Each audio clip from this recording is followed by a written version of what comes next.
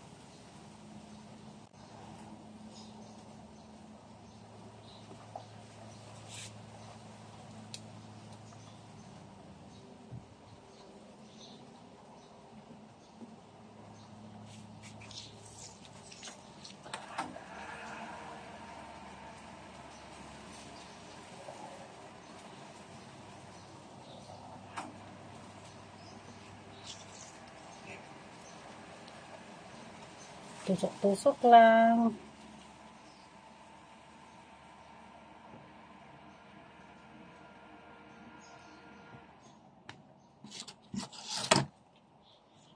Ito mga pinutol ko na lang ito guys.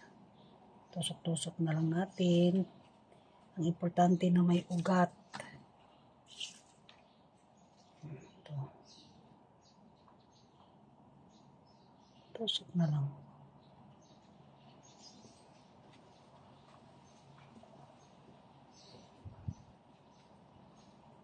Hindi ko na malaya na namatay na pala yung aking mga photos.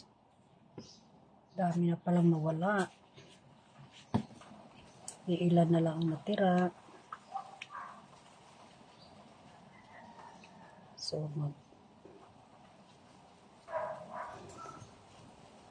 maganda kasi ito sa indoor. Yung naghahang na siya. Yan.